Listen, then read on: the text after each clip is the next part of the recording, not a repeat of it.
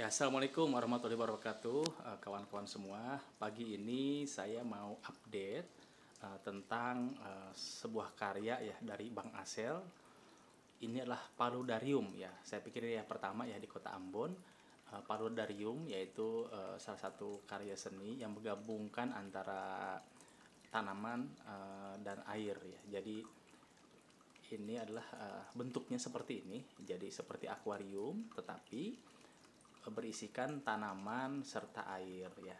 Hanya saja memang uh, untuk karya ini kita belum apa ya taruh ikannya ya. Jadi ini air ya. Air kemudian terdiri dari unsur batu-batuan. Nah, setelah batu-batuan baru ada semacam tanaman-tanaman itu mulai dari moss atau lumut ya. Lumut ini beragam, ada lumut yang didatangkan dari Pulau Jawa, ada juga lumut yang memang asli dari Ambon ya. Seperti ini tampilannya.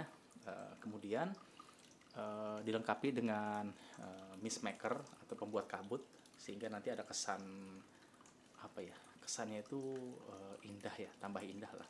Jadi ada kabut yang dihasilkan sehingga kabut ini uh, selalu uh, memenuhi ya memenuhi uh, akuarium yang ada di ya sebagai media pemeliharaannya.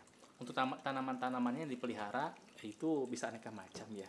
Di sini kita coba sejenis kaktus kemudian ada juga uh, talas-talasan. Kemudian ada juga yang sejenis paku-pakuan ya.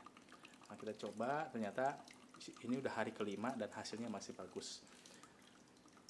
Kemudian uh, apalagi ya yang saya bisa review?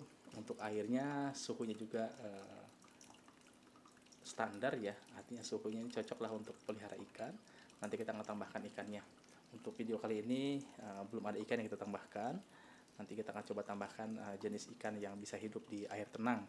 Mungkin kita bisa coba ikan cupang atau mungkin bisa juga ikan nentetra ya yang dia menyalah ya di tempat uh, agar dup ini mist makernya penghasil kabut ya. Nah itu terlihat kabutnya banyak di sini. Kabut ini pun berfungsi untuk uh, membuat tanaman menjadi selalu lembab ya sehingga nanti e, tanaman bisa selalu sehat tanpa kita harus melakukan e, penyemprotan atau penyiraman gitu ya. Karena selalu ada kabut yang menyelimuti e, tanamannya.